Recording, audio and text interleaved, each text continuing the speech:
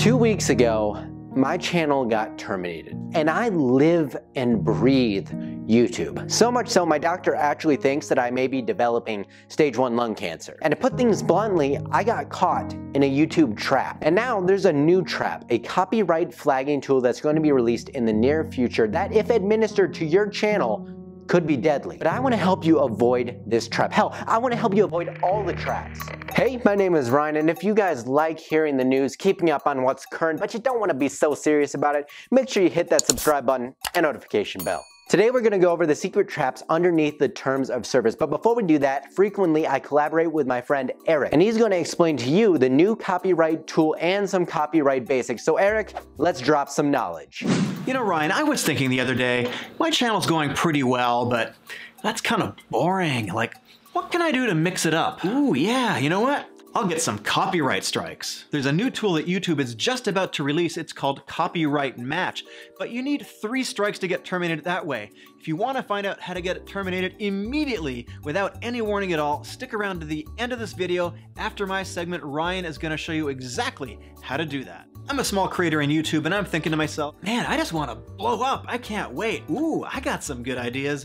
I'm gonna use some copyrighted material like this. And yeah, it's totally fine just to like upload a long segment of a video from a TV show or a movie and just not comment on it at all because that's how you grow on YouTube. However, YouTube is releasing this new tool called Copyright Match, and it's going to allow creators like you and me to find if other people are uploading our copyrighted material and identify. It. YouTube is scanning all the videos that are uploaded on a continual basis. So if someone takes my video and they upload part of it or all of it, the Creator Match tool is going to show you and identify those videos for you. Once the video has been uploaded, there's three actions you can do. One of them is actually nothing, so that's not really an action. The other one is you can contact the creator, and third, you can ask the creator to take the video down. Now, I don't know for sure, but I'm assuming that is gonna result in a copyright strike for the creator that used your video. The tool is focused on finding re-uploads of all or most of the content in original videos.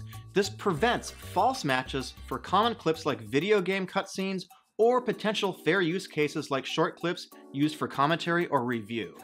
Now, obviously this goes both ways. As a creator, this makes me happy that I can identify people that are stealing my content, on the other hand, if you've stolen or used somebody else's content without their permission, that could be bad for you. So if you've got content like that, I would definitely recommend you go through your channel and probably delete the videos that you think might be offending. If you're using a clip from a popular TV show or a movie, there's something called Content ID, and that's an automated system whereby the studios submit their movies and their TV shows, and YouTube then scans videos that are uploaded and they will automatically put a strike potentially on your video if you're using something like that. And who doesn't want to get like a little whack by a bot? That sounds kind of fun. But I'm a news channel. What about fair use? Fair use is a legal doctrine that allows a creator to use certain elements of copyrighted material provided that they meet certain criteria. Now there's three other major elements too, but it's too long for this video, so if you wanna see a video on fair use, just comment down below and Ryan and I are gonna make another video. YouTube treats music a little bit differently from other copyrighted material. The bottom line is you cannot use copyrighted material without permission, and there's a couple things that might happen if you do. Your video might get taken down and you might get penalized, you might get kind of some kind of strike. That is not as common. Your video might be muted and there might be no audio or music in it at all. The video might not play in some countries perhaps, and the owner of the copyrighted music might run ads on your video and take the revenue for that as well. To avoid this situation, there's two things you can do. There's a lot of decent copyright-free music on YouTube itself. There's also online services like Epidemic Sound, Audio Blocks, and and there's some stuff on SoundCloud that also has a Creative Commons license. You can use that as well. All this copyright stuff is kind of confusing and really you need three strikes to get terminated. That's too slow. If I want to get terminated with no warning at all, Ryan is going to show you how to do that because he's done it.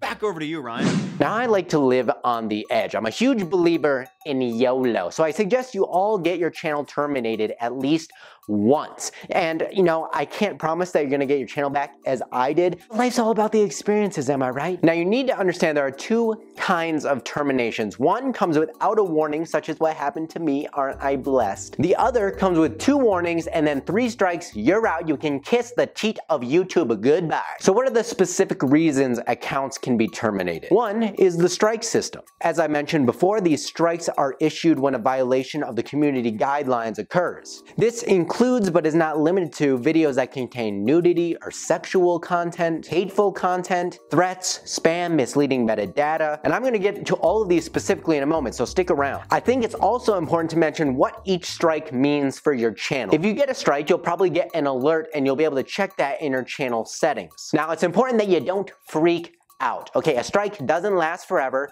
it's just three months. For instance, accounts with one strike may be restricted from live streaming. A second strike, okay, it's getting a little bit heated now. Generally, this means you won't be able to post new content on YouTube for about two weeks, so perhaps maybe a good timeout. And three strikes within a three month period means boom, drop dead, your game is over. Now, straight terminations where no strikes are involved often come from a single case or severe abuse of the guidelines or terms of service, such as predatory behavior or spam. In addition, repeated violations of the terms of service or community guidelines could lead to a straight termination without a strike. Severe violations such as spam or child endangerment run you up creek with very little chance of you being reinstated. Now that we're freshened up, how about we hit some of my favorite ways to get terminated in a segment I would like to call a quick path to success by failure. One of the best ways to get terminated is to go against the terms of service rule, spam deceptive practices, and scam policies. This is actually a very broad spectrum of violations, uh, which I have some personal experience with, and can range from video channel or comment spam, where posting large amounts of untargeted, unwanted, or repetitive content in videos may result in a strike or an excessive violation, straight termination. Also, if the main purpose of your content is to drive traffic off YouTube, just don't. Another big one is misleading or racy thumbnails. Look, I get it, thumbnails are a major player in a video's success. That being said, make sure you select the thumbnail that best represents your content. Selecting a sexually provocative thumbnail may result in the removal of your thumbnail or age restriction of your video. Though I know a certain Paul brother or two that do this on the regular without any real repercussion, that probably won't apply to you, you're not them. In addition, if you really want to get your channel terminated, make sure you extort others with scams. You could use the old classic, the Nigerian prince, but do you really think that I'm gonna fall for that?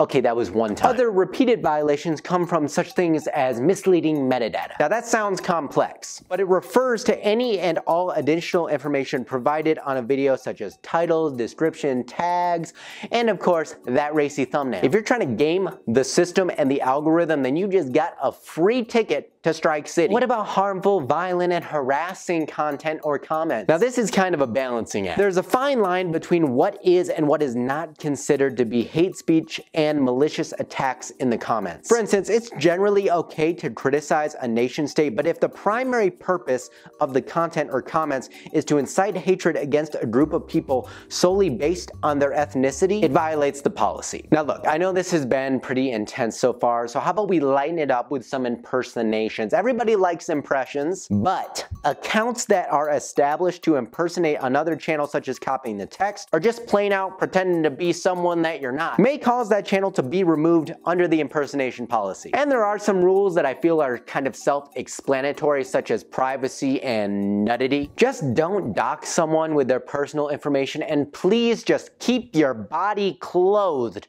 okay? Zip it or skip it. Now what I've given you are the basics and in some cases specifics on how to keep away from the grabby hands of YouTube. But please, for the love of God or whatever deity you worship, read the terms of service. You should now be an expert on how to get terminated. Take it from me, and if you want to learn how to keep your channel protected, go check out my friend Nick Nimmin's video, link above and in the description. Remember, I'm Ryan, and I'll be seeing you guys in the next video.